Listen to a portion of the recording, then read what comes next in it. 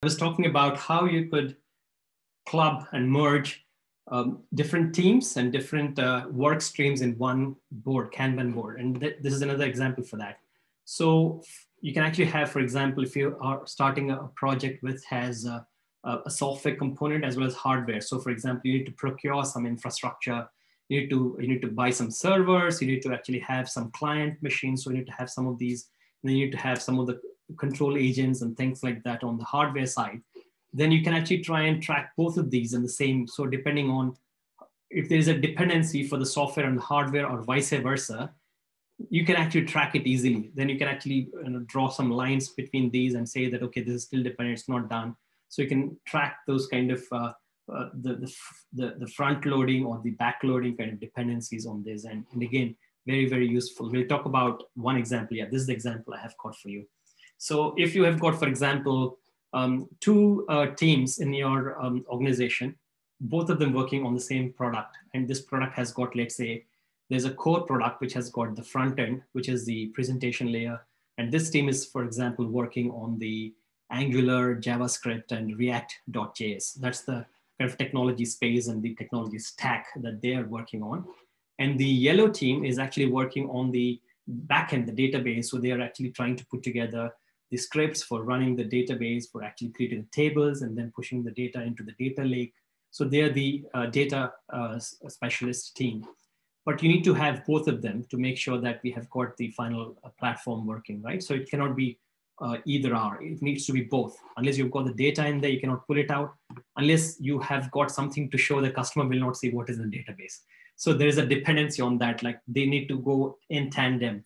And that's where you need to track, for example, you can actually track in the same uh, instance. You've got same uh, board, Kanban board could be tracked in this way. So you track this board saying that I need to club this one. I need to have the these five tasks done. And then I actually put the tasks of the database team here. Or I can actually club this. Okay, first do these two tasks. We need to have a database, then pull the data, show it on the front end. And once we show it on the front end, the customer can change it, right? For example, if you can show on a web page, there's an edit functionality. Once you edit that, if you've got an edit functionality, the values are changed. That means they need to be updated and inserted into the database again. So there needs to be another you know, database functionality there. So here you're trying to actually mix and match and try and plan how you can structure your, your, your product roadmap, the release. Your release planning is driven by the dependencies of these two different teams, the front end team and the back end team. So then you can actually kind of see that clearly using this Kanban board. You can actually see that this is the product green, which is the front end. It is here, it is here. These are the two tasks done. They're still not done with this, blah, blah, blah. So you can actually get to see the, the dependencies, the flow, and how work is actually going, uh, being streamlined across these two teams, not just within, but also across. So that's the beauty of this aggregated status. And um, another important thing with respect to the uh, aspect of an artifact of, uh, of uh, Kanban is the cumulative uh, flow diagram something like if you could recollect what we have, an equivalent version of that. It's not exactly the same, but an equivalent version of this in Scrum, and that's called the burn down chart, right? The sprint burn down chart. Similarly, here we've got a accumulation. You're actually talking, it's the, you can actually kind of treat it as an opposite or, or, a, or, or the different way of looking at it from what we have in the burn down chart. So we start with the burn down chart here, depending on the amount of work that is still to be completed.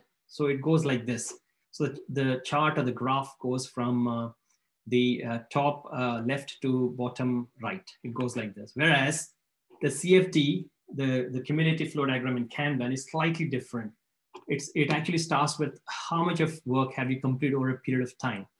So what is the work still to be done? What is the work that is done? And then there is an aspect of cycle time and lead time. So that is the difference between these two. So which is basically a metric that can be used uh, pretty much like velocity in, uh, in Scrum, we actually have the cycle time and the lead time that are measured, that are assessed and, and uh, practiced in, uh, in Kanban. So without, um, without trying to confuse you, so this is another way of actually addressing that um, the, the CFD, the cumulative flow diagram. You can actually get to see that actually builds up over a period of time. It's not, it's not building down, it's not going down like burning down the effort, but it's actually kind of assessing and measuring up the work that is actually done over a period of time. So when you look at Monday, there's not much work, but if you look at Tuesday, it actually is, is increased. So you're actually delivering more and more work and it is moving. So if you can see there, ready for approval is, is yellow and that is actually on the rise as you complete, as you look at Thursday. And same with, uh, for example, in testing. So at different phases of or different steps in the process, where is what piece of work and how much of, of work has been done. So that's the beauty of actually the CFD. You can get it with one glance and it's again a very, um, very popular tool within Kanban.